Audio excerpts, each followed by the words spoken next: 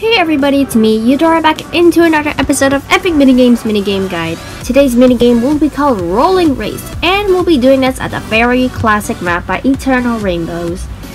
And we'll probably do Can Canyon, probably next time.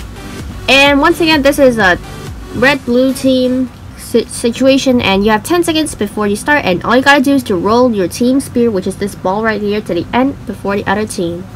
Here are some tips. So since it's called rolling, you can either push or try to roll it like how I am right now. However, this rolling tactic might be quite difficult if two or more people try to roll on it. Otherwise, you might make the ball unbalanced just like how me and this teeny guy are doing right now, making it stuck between these logs. So whenever you find this situation, immediately push it all the way back to the start and then start all over again. There's a specific pattern you can do in order to get all the way. So whenever, but you can't immediately just type to your teammates about all this. So you can try doing this quickly or whatever you want to do in order to win. And yes, if you push it too hard, you'll get blocked by this tree.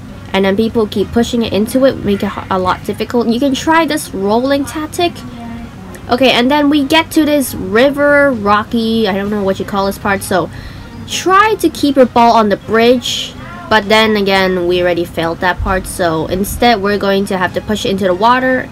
It's pretty much the same as the logs, but instead these square blocks will be a lot smaller. And the last part, we are here with the mushrooms.